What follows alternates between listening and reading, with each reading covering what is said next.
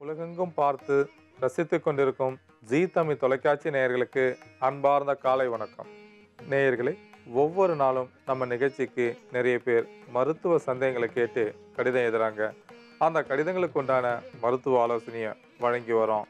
இன்றைக்கு உருளைக்கிழங்கை வைத்து ஒரு ரசம் ஒன்று தயார் செய்ய போகிறோம் இந்த ரசம் வந்து உடலில் ஏற்படக்கூடிய வலியை போக்குறதுக்கு பயன்படுது. குறிப்பாக வாதத்தின் அளவை சமன் செய்வதற்கு பயன்படுது. இந்த ரசத்தை வந்து நம்ம இறுதியாக பார்க்க போகிறோம் இப்போ முதல்ல நம்ம கடிதத்தை பார்க்கலாம். நேயர்களே குரோம்பேட்டையிலேருந்து முத்துன்றவர் இந்த கடிதத்தை எழுதியிருக்காரு.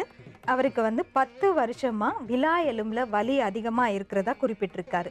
ரெண்டு பக்கமும் விலா எலும்புகளில் இழுத்து பிடிப்பது போல வலிக்குது. அந்த நேரத்தில் வந்து என்னால் எந்த ஒரு சாப்பாடும் சாப்பிட முடியல. அதே மாதிரி எந்த ஒரு வேலையும் செய்ய முடியல. ரொம்ப சிரமப்படுறேன். இதை சரி செய்யறதுக்கு எனக்கு ஒரு மருந்து கூறுங்கள் அப்படின்னு எழுதியிருக்காங்க. இவருடைய விலா எலும்பு சரியாவதற்கு என்ன மருந்துன்னு இப்போ பார்க்கலாம். இந்த நேயருக்கு வந்து விலா எலும்பு வலி இருப்பதாகவும் அந்த வலியை போக்குவதற்கு மருந்து என்னன்னு கேட்டிருக்காரு. பொதுவாக விலா வலி வருவதற்கு முக்கியமான காரணம் அதிக வேலைப்பளு இருந்தால் வரக்கூடும். அதே மாதிரி உடலில் வந்து கால்சியம் சத்து குறைவாக இருந்தாலும் விலா எலும்புகள் வந்து வலி அதிகமாக இருக்கும். அதே மாதிரி நீண்ட தூரம் பிரயாணம் செய்தாலும் இந்த வலி வருவதற்கு வாய்ப்புண்டு. அதை விட முக்கியமாக நம் உடலில் வயிற்றில் இருக்கக்கூடிய உறுப்புகளில் எந்த பாதிப்பு ஏற்பட்டாலும் குறிப்பாக விலா எலும்பில் தான் வலியை ஏற்படுத்தும். அதே மாதிரி நரம்புகளில் ஏதேனும் ரத்த ஓட்டம் தடைப்பட்டாலும் இந்த விலா எலும்பில் வலி வருவதற்கு வாய்ப்புண்டு.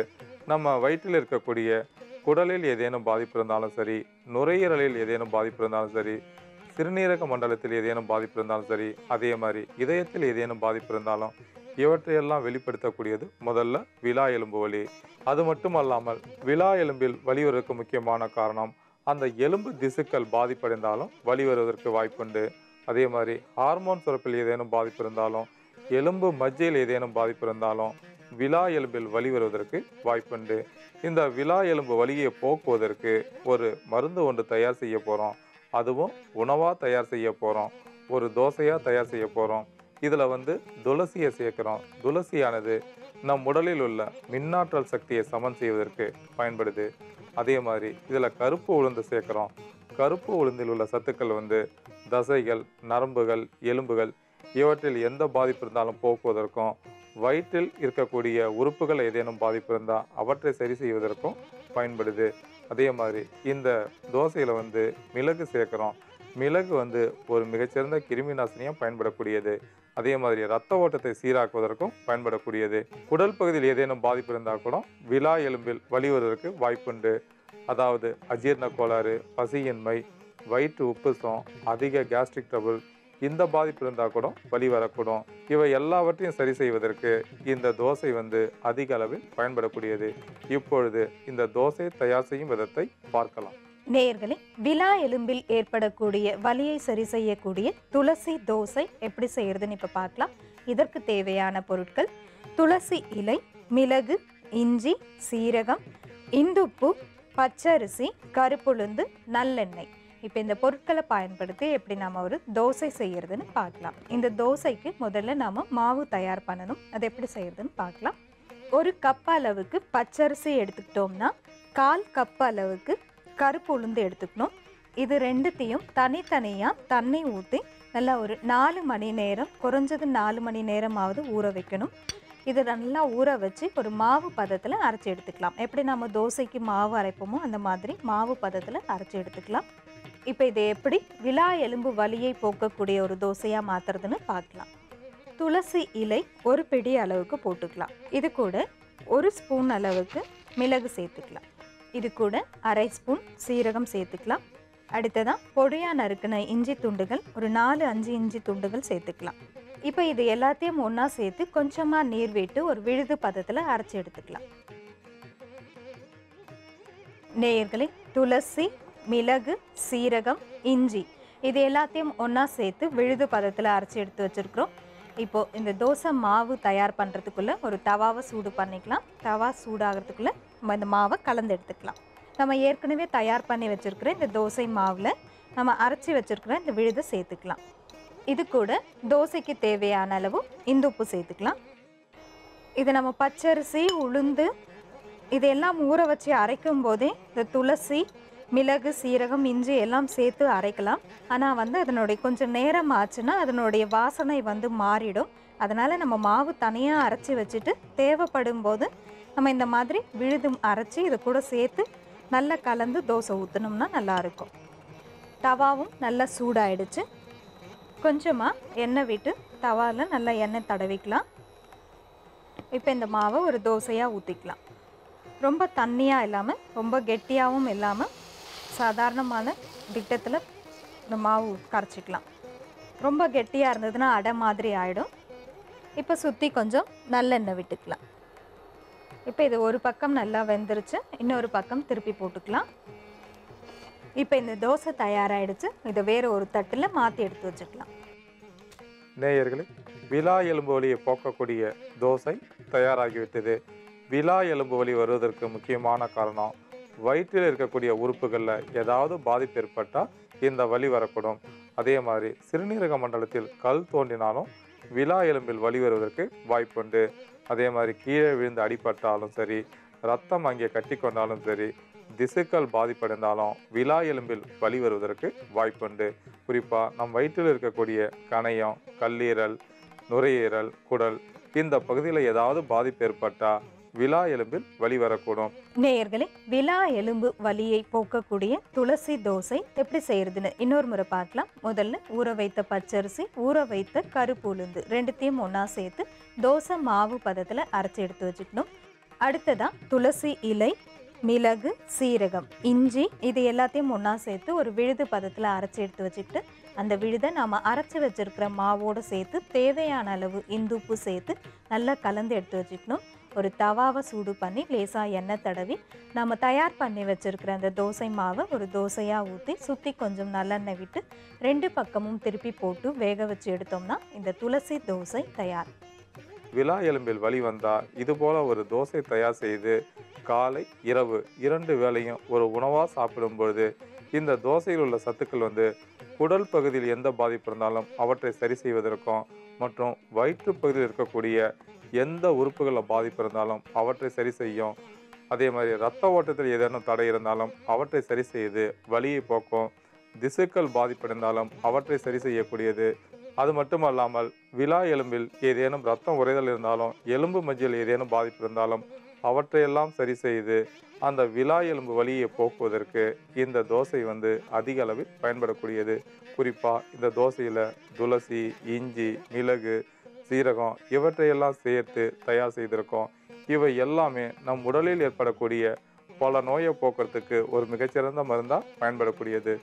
நேயர்களே விழா எலும்பில் வலி இருக்கிறவங்க இது போல ஒரு துளசி தோசை தயார் செய்து காலை இரவு இரண்டு வேளையும் ஒரு உணவாக சாப்பிடும் பொழுது உடல் வந்து ஆரோக்கியமாக இருக்கும். அடுத்த கடிதத்தை ஒரு சிறிய இடைவேளைக்கு பிறகு பார்க்கலாம். நேயர்களே காஞ்சிபுரத்துல இருந்து அமுதான்றவங்க இந்த கடிதத்தை எழுதியிருக்காங்க. அதாவது அவங்களுக்கு வந்து நாற்பத்தி மூணு வயதாகுது. சில வருடங்களாகவே வந்து அவங்களுக்கு மாதவிடாய் நேரத்தில் அதிக உதிரப்போக்கு ஏற்படுறதா சொல்லியிருக்காங்க. அஞ்சு நாட்களுக்கு வந்து அதிகமான உதிரப்போக்கு இருக்கும். இதனால் நான் ரொம்ப கஷ்டப்பட்டுட்டு வரேன். இதனால் எனக்கு வந்து இரத்த சோகை அதிகமாக இருக்குது பார்வை குறைபாடு இருக்குது உடல் அசதி ஞாபக மறதி இது போன்ற பல பிரச்சனைகள் ஏற்படுது. நான் வந்து ஸ்கேன் செய்து பார்க்கும்போது எல்லாமே வந்து நார்மலாக இருக்குது ஆனால் எதனால் எனக்கு இந்த பிரச்சனை இருக்குதுன்னு தெரியல அப்படின்னு எழுதியிருக்காங்க. இவங்க இதை சரி செய்யக்கூடிய ஒரு மருந்து கேட்டு இந்த கடிதம் எழுதியிருக்காங்க. இவங்களுக்கான மருந்து என்னன்னு இப்போ பார்க்கலாம். இந்த நேயருக்கு வந்து அதிக உதிரப்போக்கு இருப்பதாகவும் இந்த பாதிப்பை போக்கிக் கொள்வதற்கு மருந்து என்னன்னு கேட்டிருக்காங்க. பெண்களுக்கு கர்ப்பப்பையில் நீர்க்கட்டிகள் இருந்தால் அதிக உதிரப்போக்கு வரக்கூடும். அதே மாதிரி தைராய்டு சுரப்பில் ஏதேனும் பாதிப்பு இருந்தாலும் வரக்கூடும். அது மட்டும் அல்லாமல் கர்ப்பப்பையில் இருக்கக்கூடிய ஹார்மோன் சுரப்பில் ஏதேனும் பாதிப்பு இருந்தாலும் அதிக உதிரப்போக்கு வரக்கூடும். முக்கியமாக அச்சம் தரக்கூடிய தகவலை கேட்டால் பெண்களுக்கு வந்து உதிரப்போக்கு வந்து அதிகமாக இருக்கும். இந்த உதிரப்போக்கு அதிகமாக வந்தாலே உடல் அசதி சோம்பல் நிறையா இருக்கும். அதே மாதிரி உடலில் வந்து ஹீமோகுளோபின் அளவும் குறையும். ஹீமோகுளோபின் அளவு குறைந்தாலே ரத்த ஓட்டம் குறையும். அதே மாதிரி உடல் அசதி சோம்பல் மயக்கம் கண் பார்வை மங்குதல் இது போன்ற பாதிப்புகள் வந்து நிறையா இருக்கும். பொதுவாக பெண்களுக்கு இந்த பாதிப்பு வந்தாலே சாப்பிடுவதற்கு தூங்குவதற்கு கூட சிரமப்படுவாங்க. ஏன்னா இரவில் சரியாக தூக்கம் வராது சரியாக சாப்பிட மாட்டாங்க. ஞாபக சக்தி குறைவாக இருக்கும். இது போன்ற பாதிப்புகள் வந்து ஒன்றன் பின் ஒன்றாக வரக்கூடும். இந்த அதிக உதிரப்போக்கானது மெனோபாஸ் என்று சொல்லக்கூடிய காலகட்டத்தில் கூட பெண்களுக்கு வருவதற்கு வாய்ப்புண்டு. இந்த அதிக உதிரப்போக்கு வந்தால் அந்த அதிக உதிரப்போக்கை குறைப்பதற்கு ஒரு மருந்து ஒன்று தயார் செய்ய போகிறோம் அதுவும் துவையலாக தயார் செய்ய போகிறோம் இந்த துவையல் தயார் செய்ய தேவையான பொருட்கள் குப்பமணி இலை மற்றும் செம்பருத்தி பூவை வைத்து தயார் செய்ய போகிறோம் இந்த குப்பமணி இலை மற்றும் செம்பருத்தி பூவில் உள்ள சத்துக்கள் வந்து அதிக உதரப்போக்கை குறைப்பதற்கு பயன்படுது. குறிப்பாக ஹார்மோன் சுரப்பில் ஏதேனும் பாதிப்பு இருந்தால் அவற்றை சமன் செய்வதற்கும் அதிக உதரப்போக்கை குறைப்பதற்கும் அதே மாதிரி பெண்களுக்கு வந்து இந்த பாதிப்பு அதிகமாக இருந்தால் இரத்த சோகை ஏற்படும் உடம்புல வந்து நோய் எதிர்ப்பு சக்தி குறையும் எந்த ஒரு வேலையும் செய்ய முடியாது. நோய் எதிர்ப்பு சக்தியை கொடுப்பதற்கும் இரத்த ஓட்டத்தை சமன் செய்வதற்கும் செம்பருத்தி பூவில் உள்ள சத்துக்கள் வந்து அதிக அளவில் பயன்படக்கூடியது. நேயர்களே இந்த துவையல் தயார் செய்யும் விதத்தை இப்பொழுது பார்க்கலாம். நேயர்களே மாதவிடாய் காலத்தில் ஏற்படக்கூடிய அதிக உதிரப்போக்கை சரி செய்யக்கூடிய ஒரு துவையல் எப்படி செய்யறதுன்னு இப்போ பார்க்கலாம். இதற்கு தேவையான பொருட்கள் செம்பருத்தி பூ கருவேப்பிலை குப்பைமேனி இலை பூண்டு சீரகம் இந்துப்பு நல்லெண்ணெய். இப்போ இந்த பொருட்களை பயன்படுத்தி நம்ம ஒரு துவையல் ஒன்று தயார் பண்ண போகிறோம் இதை எப்படி செய்கிறதுன்னு இப்போ பார்க்கலாம். வானல் சூடானதும் ரெண்டு ஸ்பூன் நல்லெண்ணெய் விட்டுக்கலாம். கொஞ்சமாக சீரகம் போட்டுக்கலாம். சீரகம் ஒரு கால் ஸ்பூன் அளவுக்கு போட்டோம்னா போதும். இது கூட தோல் உரித்த பூண்டு பற்கள் ஒரு அஞ்சு ஆறு பூண்டு பற்கள் போட்டுக்கலாம். இந்த பூண்டுடைய பச்சை வாசனை மாறுற வரைக்கும் நல்லா வதக்கிக்கலாம். அடுத்ததாக இது கூட கருவேப்பிலை ஒரு பிடி அளவுக்கு போட்டுக்கலாம். இது கூடவே குப்பை மேனி இலை ஐந்து இலைகள் சேர்த்துக்கலாம். குப்பை மேனி இலை வந்து அதிகமாக சேர்க்கக்கூடாது. அதிகமாக சேர்த்தோம்னா வயிற்றுப்போக்கு ஏற்படும். அதனால ஒரு அஞ்சு இலை சேர்த்துக்கலாம். இப்போ இது கூட செம்பருத்தி பூ மூணு பூக்களை சேர்த்துக்கலாம். இப்போ இது எல்லாத்தையும் நல்லா வதக்கிக்கலாம். இந்த துவையலுக்கு தேவையான அளவு இந்த உப்பு சேர்த்துக்கலாம். இது மொத்தமாக சேர்த்து அரைச்சோம்னா ஒரு ரெண்டு உருண்டை அளவுக்கு தான் வரும். அதனால் உப்பு கொஞ்சமாக சேர்த்துக்கலாம். அதிகமாக சேர்த்துட்டோம்னா உப்பு கரிக்கும். இப்போ இது அப்படியே ஒரு அஞ்சு நிமிஷம் ஆற வச்சு ஒரு துவையல் பதத்தில் அரைச்சி எடுத்துக்கலாம். நேயர்களே மாதவிடாய் காலத்தில் ஏற்படக்கூடிய அதிக உதிரப்போக்கை சரி செய்யக்கூடிய துவையல் தயார். இது எப்படி செய்யறதுன்னு இன்னொரு முறை பார்க்கலாம். முதல்ல ஒரு வானல்ல தேவையான அளவு நல்லெண்ணெய் விட்டு சீரகம் பூண்டு தாளிச்சு அது கூட கருவேப்பிலை குப்பைமேனி இலை செம்பருத்தி பூ இது எல்லாத்தையும் சேர்த்து நல்லா வதக்கி தேவையான அளவு இந்துப்பு சேர்த்து ஆற வைத்து அரைச்சி எடுத்தோம்னா இந்த துவையல் தயார். நேயர்களை அதிக உதரப்போக்கை கட்டுப்படுத்தக்கூடிய துவையல் தயாராகிவிட்டது. இந்த துவையல் வந்து அதிக உதரப்போக்கை கட்டுப்படுத்துவதற்கு அதிக அளவில் பயன்படக்கூடியது. பொதுவாக பெண்களுக்கு ஹார்மோன் சுரப்பில் ஏதேனும் பாதிப்பு இருந்தால் வரக்கூடும். அதே மாதிரி பயம் பதட்டம் அச்சத்தை தரக்கூடிய தகவலை வந்து கேட்கும்போது அந்த பயத்தின் காரணமாக அதிக உதரப்போக்கு ஏற்படும். இந்த பாதிப்பு பெண்களுக்கு வந்தால் ஒரு சிலருக்கு இரண்டு மூன்று வாரங்கள் கூட வரக்கூடும். அதே மாதிரி மெனோபாஸ் காலத்தில் கூட அதிக உதரப்போக்கு வரக்கூடும். இந்த அதிக உதரப்போக்கு இருந்தால் இதுபோல் ஒரு துவையல் தயார் செய்து காலை மதியம் இரவு மூன்று வேளையும் இரண்டு தேக்கரண்டி அளவிற்கு உணவோடு சேர்த்து சாப்பிடும் பொழுது வயிற்றில் ஏதேனும் பாதிப்பு இருந்தாலும் குறிப்பாக ஹார்மோன் சுரப்பில் ஏதேனும் பாதிப்பு இருந்தாலும் அவற்றை சரி செய்யும். அதே மாதிரி அந்த அதிக உதிரப்போக்கு இருந்தால் உடல் அசதி சோம்பல் இவையெல்லாம் இருக்கும். இரத்த ஓட்டமும் குறைவாக இருக்கும். அவற்றையெல்லாம் சமன் செய்து உடலை ஆரோக்கியமாக வைத்துக்கொள்வதற்கு இந்த குப்பைமேனி மற்றும் செம்பருத்தி பூ துவையல் வந்து அதிக அளவில் நன்மை செய்யக்கூடியது. இந்த துவையில் குறிப்பாக கருவேப்பிலையை சேர்த்துருக்கோம். கருவேப்பிலையில் வந்து இரும்புச்சத்து வந்து நிறையா இருக்குது உடலுக்கு இரும்புச்சத்து வந்து ரொம்ப முக்கியம். அதுவும் பெண்களுக்கு வந்து ஒவ்வொரு மாதமும் மாதவிடாய் நிகழும்போது உதிரப்போக்கு இருக்கும். அதனால் ரத்தத்தில் இருக்கக்கூடிய ஹீமோகுளோபின் வந்து குறையும். அந்த மாதிரி குறையும் பொழுது அசதி நிறையா இருக்கும். அந்த அசதியை போக்குவதற்கு இந்த கருவேப்பிலையில் உள்ள சத்துக்கள் வந்து அதிக அளவில் பயன்படக்கூடியது. நேயர்களே பெண்களுக்கு அதிக உதிரப்போக்கு பாதிப்பு இருக்கிறவங்க இதுபோல ஒரு துவையல் தயார் செய்து காலை மதியம் இரவு மூன்று வேளையும் அந்த பாதிப்பு நிற்கிற வரைக்கும் சாப்பிட வேண்டும். உணவோடு சேர்த்து சாப்பிடலாம். இதை தனியாக சாப்பிட்டாலும் சாப்பிடலாம். அல்லது உணவோடு சேர்த்தும் சாப்பிடலாம். நேயர்களே ஒரு வார காலத்திற்கு சாப்பிடும் பொழுது அந்த பாதிப்பு வந்து படிப்படியாக குறையும். கர்ப்பப்பையில் எந்த பாதிப்பு இருந்தாலும் அந்த பாதிப்பை நீக்கி அதிக உதரப்போக்கை கட்டுப்படுத்துவதற்கு இந்த துவையல் வந்து அதிக அளவில் பயன்படக்கூடியது. நேயர்களே இது எளிதில் கிடைக்கக்கூடிய பொருட்களை வைத்து இதுபோல ஒரு துவையல் தயார் செய்து சாப்பிட்டு பயனடையுமாறு கேட்டுக்கொள்கிறேன். நேயர்களை அடுத்ததாக உருளைக்கிழங்கை வைத்து ஒரு ரசம் ஒன்று தயார் செய்ய போகிறோம் வாத வழியை போக்குறதுக்கு பயன்படக்கூடியது.